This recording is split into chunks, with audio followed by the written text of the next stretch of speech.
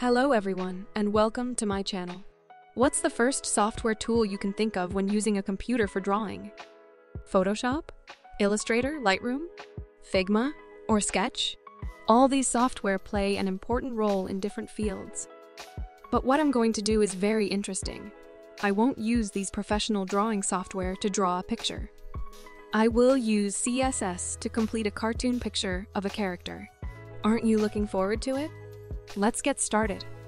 If this is your first time watching my video tutorials, please remember to subscribe to my channel by clicking the button below the video.